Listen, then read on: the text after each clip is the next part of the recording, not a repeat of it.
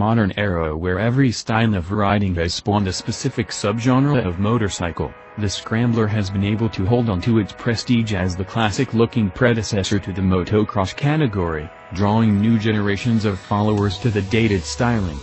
For anyone attracted to the vintage Scrambler appeal, this BMW R nineT Urban GS build from Unique Custom Cycles is exactly the eye candy they have been looking for.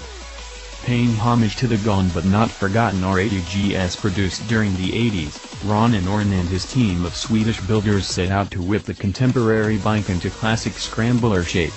The first thing to go from the factory trim of the Urban GS was the two-rider saddle. It was swapped for a chopped version from the R9 Scrambler variant, and capped with a custom rear fender that matched the shape of the newly made tubular subframe.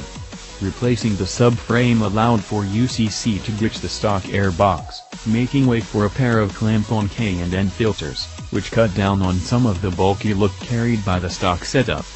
Suspension was swapped for a heavy-duty set from Öhlins giving the bike a retro 43 fork and STX 46 rear shock, which perched the bike perfectly for an aggressive stance sure to get anyone into a bit of off-highway mischief.